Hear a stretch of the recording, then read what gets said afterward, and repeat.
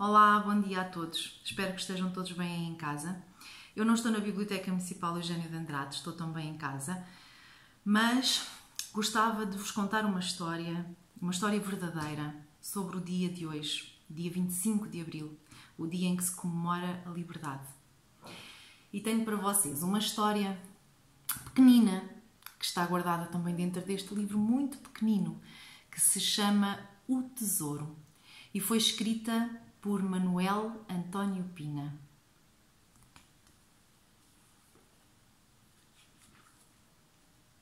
Há muitos anos, no tempo em que os teus avós ainda andavam na escola, num país muito distante, vivia um povo infeliz e solitário, vergado sob o peso de uma misteriosa tristeza. O céu era alto e azul, os campos férteis, o mar e os rios cheios de peixes e de vida, as cidades quentes e luminosas, mas as pessoas que passavam entreolhavam-se com olhos tristes, caminhando apressadamente e sumindo-se dentro das casas. E quando se encontravam umas com as outras, nos cafés, nos empregos, na rua, falavam baixinho, como se alguma coisa, um segredo terrível, as amedrontasse. Quem, vindo de outras terras, chegava ao país das pessoas tristes, não compreendia. As pessoas eram boas e afetuosas e aparentemente só tinham motivos para ser felizes, mas quando lhes faziam perguntas, as pessoas afastavam-se e não respondiam, ou então mudavam delicadamente de assunto e pediam desculpa. Às vezes, porém, os visitantes demoravam-se mais tempo e depressa faziam amigos, porque era muito fácil fazer amigos naquele país.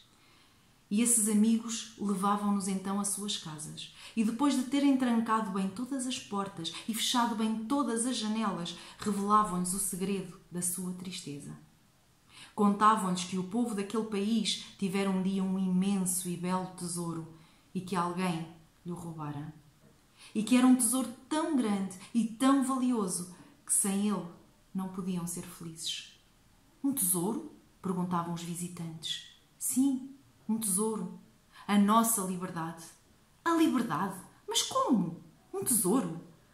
Os visitantes não queriam acreditar, porque nas suas terras a liberdade era uma coisa comum, quase sem importância. Sim, a liberdade é como o ar que respiramos. Só quando nos falta e sufocamos cheios de aflição é que descobrimos que sem ela não podemos viver. Mas como pode alguém viver sem liberdade? Como é que isso é possível? perguntavam os visitantes. Então explicavam-nos. Naquele país, as pessoas não podiam fazer o que queriam, nem podiam dizer o que pensavam ou o que sentiam, nem como eles partir a visitar outros países e conhecer outros povos. Não. As pessoas viviam fechadas no seu país como se ele fosse uma própria prisão.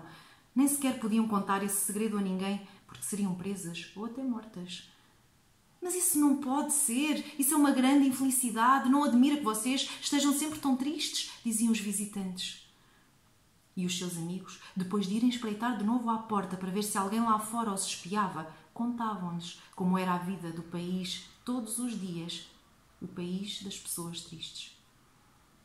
Havia polícias por toda a parte. Não os polícias bons que orientavam o trânsito e prendem os ladrões. Não.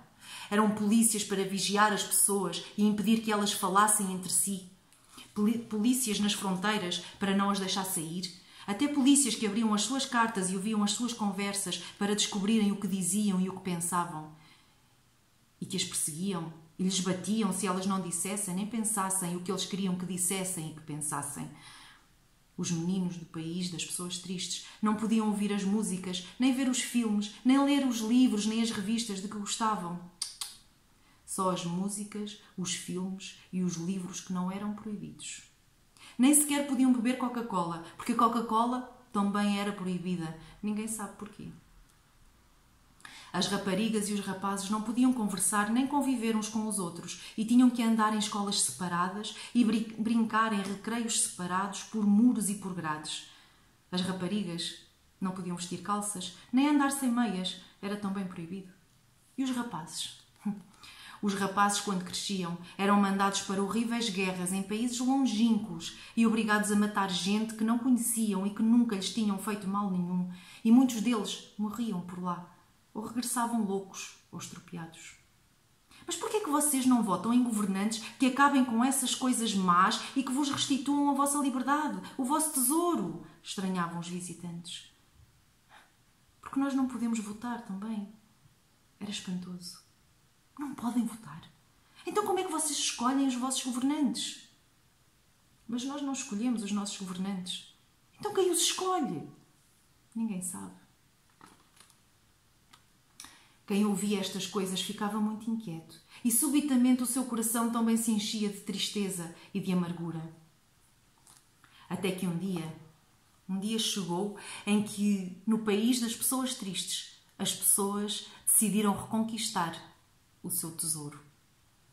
Então, os soldados reuniram-se nos quartéis e pegaram nas suas armas para arrancar finalmente o tesouro das mãos dos ladrões. E toda a gente saiu alvoroçadamente para a rua e acompanhou os soldados cantando e gritando: Viva a liberdade!